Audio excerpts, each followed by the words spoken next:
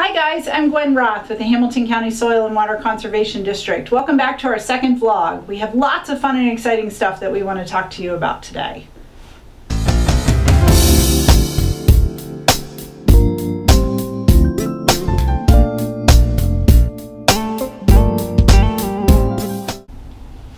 Now you remember in our last vlog we talked about milkweed and if you know me you know I love monarchs and you know I love milkweed. Milkweed is essential to monarch butterflies and right about now the milkweed is starting to go to seed. You might notice some of these milkweed pods on your plants. Inside these pods are hundreds of milkweed seeds. Now as the pods ripen and get ready to mature they turn a gray or brown color and they start to burst open and inside that are hundreds of different milkweed seeds. Now each one of these seeds has a little fluff on it and th that fluff is designed to carry that milkweed seed on the wind to be planted somewhere else. Now, if you want more milkweed in your garden, leave the pods alone. They'll burst open, those seeds will spread and will spread the milkweed love. If that's a few too many milkweeds for you, you can collect the pods and you can deliver them here to our office. Now you want to collect the pods when they're brown like this. You don't want to collect the pods when they're green like that. Leave these on the plant and wait a little while until they get to this point. We're going to use those seeds and we're going to send them up to the state office and the state office is going to take all those seeds and they're going to use them in conservation plantings so we can have more milkweed throughout the state of Ohio to spread that monarch love so that we can have more monarchs next year. Summer's over and you know what that means. It means it's back to school time and it's also time to drain those pools and those hot tubs. Now there's a couple things you need to know before you start just dumping that water right out into your yard.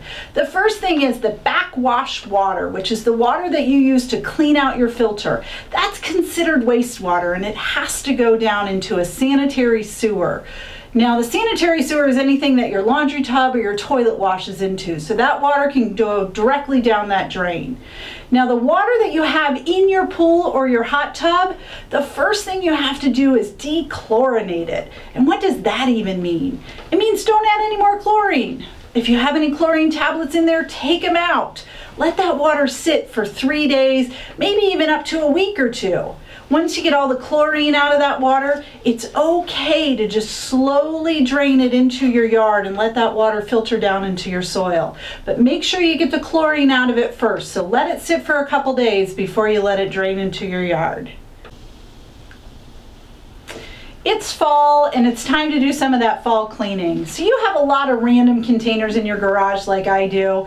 Well, there's a lot of alternatives for products that we have in our garage simple products that we can use like vinegar and Murphy's oil soap. We can make bug repellents, we can make glass cleaners, all different types of things. In fact, if you take a cup of water and just one and a half teaspoons of vinegar, mix it in together in a spray bottle, and you have a fabulous glass cleaner. Now, if you have some of those products in your garage and you just don't know what to do with and you don't know how to properly dispose of them, because a lot of those things can't just go into the trash, you can go to takebackyourhome.org, find where to dispose of those things properly, find other recipes for alternative products, and all kinds of great information.